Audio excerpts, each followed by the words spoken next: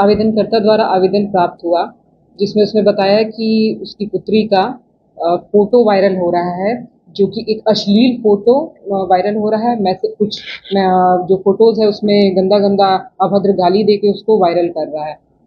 तो हमने जाँच पड़ताल की, जिसमें चार पाँच यूआरएल इंस्टाग्राम का यूआरएल प्राप्त हुआ। और उसके जाँच पड़ताल में पाया गया कि लड़का जो है वो महिसोना का है। लड़के का नाम पंकज कुमार है, पिता उसके विपिन राम है। उसको थाना पे लाया गया उससे पूछताछ किया गया जिस उसके मोबाइल में बहुत सारा कंटेंट मिला ऐसा जिसमें कि उस लड़की का फ़ोटो था लड़की का अश्लील फ़ोटो भी था और वो चार पाँच आईडीज बना के इंस्टाग्राम का फेसबुक का फ़ोटो वायरल कर रहा था। तो उसको पकड़ के गिरफ़्तार किया गया और आगे की कार्रवाई की जा रही है।